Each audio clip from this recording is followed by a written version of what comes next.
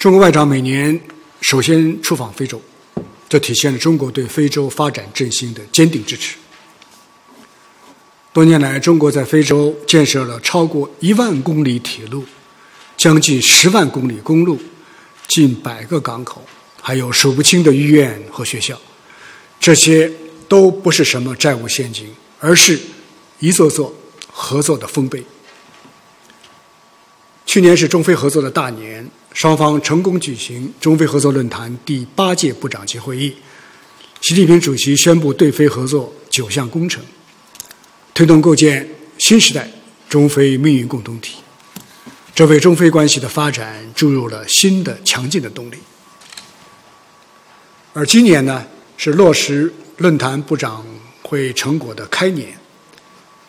中国对非合作重信守诺，我们从不开空头支票，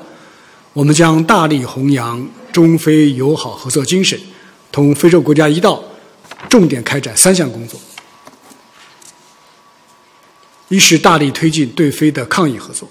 全面落实习近平主席向非洲提供十亿剂疫苗的承诺，帮助非洲提升疫苗本地化生产能力，助力实现二零二二年百分之六十非洲人口接种疫苗的目标。二是促进中非务实合作提质升级，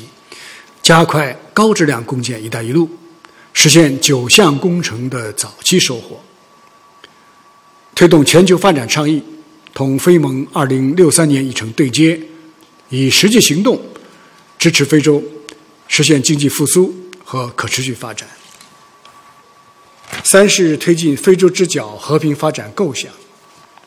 中方已经任命外交部非洲之角事务特使，我们愿意同地区国家广泛沟通，为非洲之角。以及整个非洲大陆的和平与发展，来发挥建设性的作用。